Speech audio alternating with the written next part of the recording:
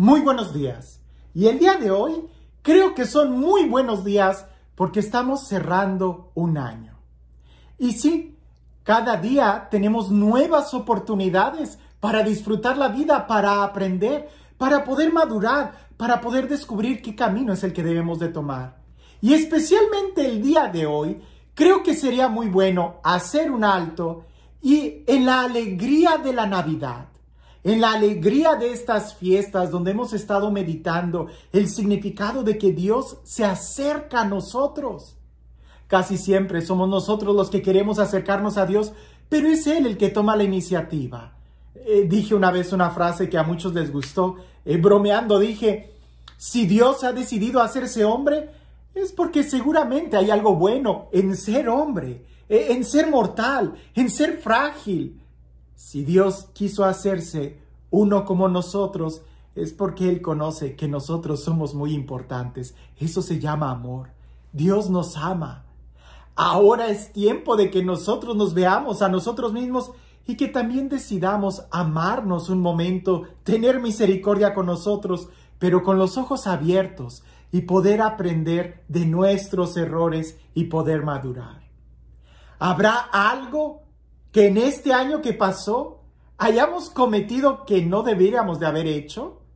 Si eres capaz de reconocerlo, felicidades, estás madurando, estás creciendo. Si hay algo que en el año pasado no hiciste y que debiste de haber hecho, no lo hagas como propósitos de año nuevo. Trata de cumplirlo, trata de verdaderamente llevarlo a la práctica. Pero te quiero hacer una pregunta que es mucho más trascendental e importante. ¿Tocaste a Dios el año pasado? Este año que está a punto de concluir, ¿fuiste capaz de tocarlo? ¿De mirarlo? ¿De escucharlo? ¿De sentirlo? Quizás alguien va a decir, Padre, a Dios no se le puede tocar. ¿O sí? ¿Se le puede tocar a Jesús? Alguien pudiera decir, bueno, cuando Jesús estuvo caminando en tiempo de Jerusalén, en aquel entonces, eh, en Jerusalén, eh, seguramente la gente sí lo tocaba. El Evangelio dice que la gente lo tocaba. La pregunta es, ¿se le puede tocar el día de hoy?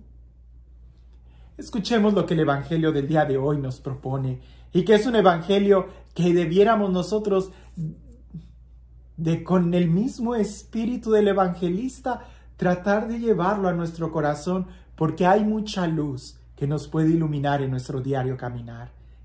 Es un poema, pero no por ser poema no está lleno de sabiduría, al contrario, es tanta sabiduría que no hay otra forma de expresarla que como en un poema. Escucha. En el principio existía la palabra y la palabra estaba junto a Dios. Y la palabra era Dios. Ella estaba en el principio junto a Dios. Todo se hizo por ella y sin ella no se hizo nada. Lo que se hizo en ella era la vida. Y la vida era la luz de los hombres. Y la luz brilla en las tinieblas y las tinieblas no la vencieron. Hubo un hombre enviado por Dios, se llamaba Juan. Este vino para un testimonio, para dar testimonio de la luz, para que todos creyeran por él. No era él la luz, sino quien debía dar testimonio de la luz. La palabra era la luz verdadera que ilumina a todo hombre cuando viene a este mundo. En el mundo estaba y el mundo fue hecho por ella, pero el mundo no la conoció. Vino a los suyos, mas los suyos no la recibieron. Pero a todos los que la recibieron les dio poder de hacerse hijos de Dios, a los que creen en su nombre. Estos no nacieron de la sangre, ni de deseo de carne, ni de deseo de hombre, sino que nacieron de Dios. Y la palabra se hizo carne y puso su morada entre nosotros. Y hemos contemplado su gloria, gloria que recibe del Padre como unigénito, lleno de gracia y de verdad. Juan daba testimonio de él proclamando, Este era del que yo dije, el que viene detrás de mí se ha puesto delante de mí, porque existía antes que yo. De su plenitud hemos recibido todos gracia por gracia.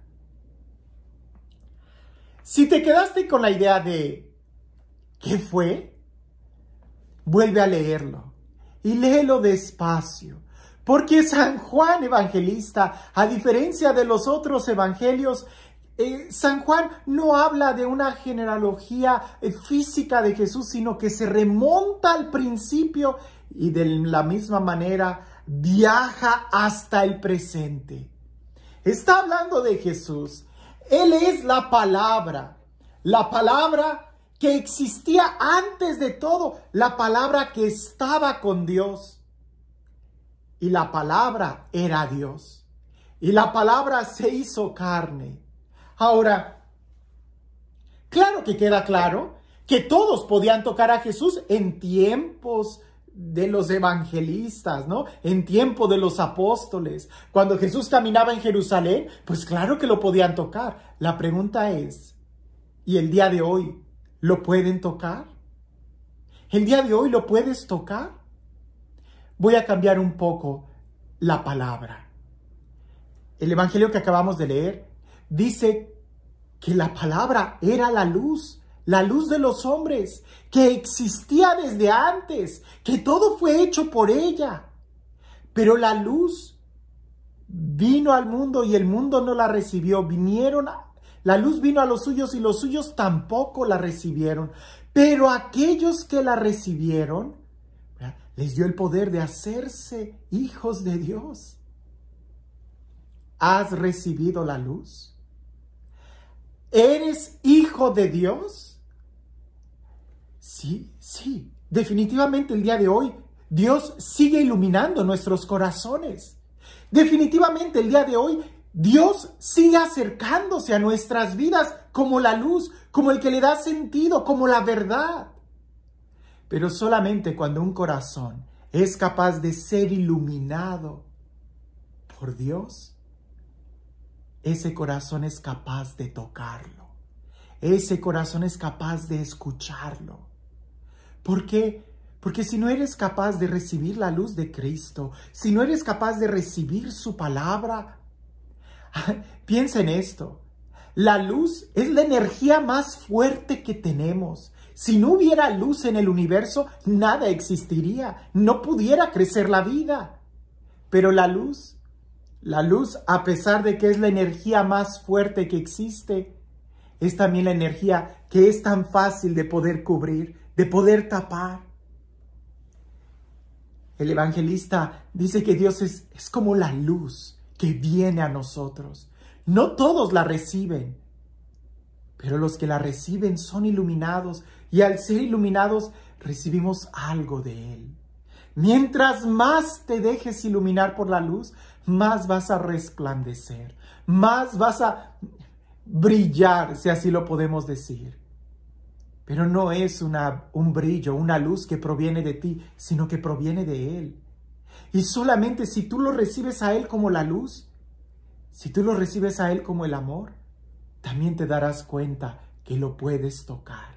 Porque el día de hoy también se puede tocar a Jesús. Si el año pasado no fuiste capaz de tocarlo, ¿qué esperas? para que eh, en el horizonte nuevo de este año que está por iniciar, te dejes iluminar por Cristo. Deja a un lado todas las barreras que pueden ser un, un, obstáculo. Jesús no viene a condenarte, Él viene a salvarte. Jesús no viene a recriminarte, Él viene a amarte precisamente. Si te sientes enfermo, si te sientes herido, si te sientes pecador, es a ti a quien Él está buscando para sanar. En otra parte del Evangelio lo ha dicho, yo no he venido por justos, no he venido por los sanos, sino son los enfermos los que necesitan el médico. Dejémonos iluminar por Cristo y entonces seremos capaces de poder tocarlo, de poder tocar su carne que también está expresada en la carne, en el cuerpo de todos nuestros hermanos, especialmente los que sufren. Que este año que está terminando sea un buen motivo para dejarnos iluminar por la palabra de Dios y reconocer aquellas cosas que no debimos de hacer, reconocer aquellas cosas que sí debimos de hacer y que no hicimos, pero sobre todo que este año que inicia seamos capaces de tomar la decisión de verdaderamente seguirlo a Él.